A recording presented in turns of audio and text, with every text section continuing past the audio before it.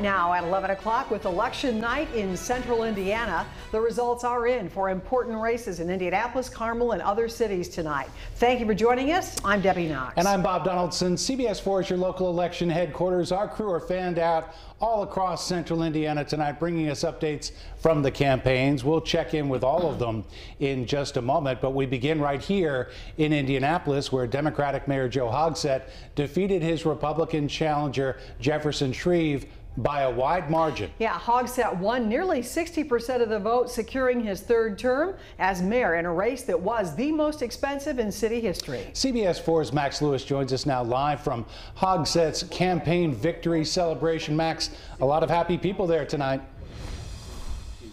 Yeah, there sure were, Bob and Debbie. It was a great night here for Indianapolis Democrats as Mayor Joe Hogsett cruised to another four years over his opponent, Jefferson Shreve, even though Shreve outspent him by quite a bit. Hogsett, though, did commend his Republican uh, challenger, saying that he, they fought a hard campaign and that he hopes they can both work together in order to still make this city better. However, the crowd here at the Hogsett camp may have felt a little bit differently. They uh, broke out in boos and applause as they watched Jefferson Shreve's concession speech up here on the big monitors. Mayor himself made his appearance at the party just within the past hour, touting his accomplishments on issues such as economic development, investments in housing, and even crime, despite record homicides in recent years. He did acknowledge that there is a lot more work to be done, and he said it will take a village to do it. Take a listen.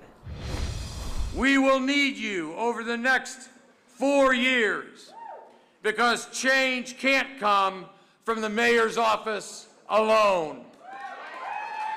It takes advocates, it takes neighborhood leaders, it takes community stakeholders to shape city government into a government that serves all of Indianapolis, all people, all zip codes, all four corners. Hogsett also said that this evening is going to be his last one at a victory party like this one, up on a campaign stage making a victory speech like this. He has told us previously that his uh, third term is going to be his last as Indianapolis mayor. He told us earlier today that once those four years are up, he is going to cruise off into what he called the political sunset. However, that is still quite a long time from now, and as he said tonight, still a lot more work to be done. Bob and Debbie, we'll send it back to you. All right, Max, thank you very much. And as we mentioned, Republican Jefferson Shreve called Joe Hogsett to concede the race and congratulate him on a third term. Shreve later spoke to his supporters. CBS 4 Steve Brown was at that speech and explains his message to his supporters. It's hard to be more invested than Jefferson Shreve was as a candidate while facing two-term incumbent Joe Hogsett in the Indianapolis mayoral race. The vast majority of Shreve's money, a reported $13.5 million, came from Shreve himself. Much of that money spent on advertising in both the primary and general election campaigns. Shreve also invested his time, pausing much of his work in his successful storage businesses for nine months so that he could campaign during his concession speech, he had a bit of fun at his own expense over his costs of running for Indy mayor.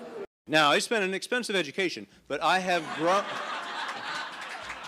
but I have grown tremendously and grown to appreciate my hometown in ways that I couldn't have imagined as I set down this course. We have such diversity and such terrific people in and across this city of 403 square miles. During his speech, Shreve added that during his phone call to concede the race and congratulate Hogsett, the mayor asked Shreve going forward to be vigorously involved in issues facing the city. After his speech, I asked Shreve whether or not he'd be interested in running for public office again. Shreve didn't directly answer the question, but concluded by saying, I'll be around. Steve Brown, CBS 4 News.